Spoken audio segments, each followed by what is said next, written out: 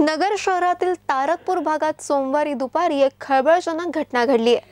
पेटलेल्या अवस्थेत एका महिलेनं घराच्या गच्चीवरून उडी घेतली आहे. पोलिसांनी घटनास्थळी धाव घेतली असून तिला रुग्णालयात हलवण्यात आलं आहे. पूजा मनोहर चुग असं या महिलेचं नाव आहे. दुसऱ्या मजल्यावरून पडल्यामुळे या महिलेच्या डोक्याला मार लागलाय. भाजल्याने जखमाही झाल्या आहेत. या महिलेवर जिल्हा रुग्णालयात उपचार सुरू आहेत. मात्र चूग यांनी पेटवून का घेतले याबाबत अद्याप माहिती मिळाली नाही.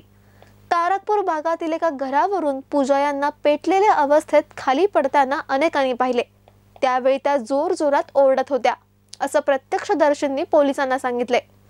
गजबजलेल्या तारकपूर भागात भर दुपारी ही घटना घडल्याने खळबळ उडाली आहे दरम्यान तोफखाना पोलीस या प्रकरणाचा अधिक तपास करत आहेत.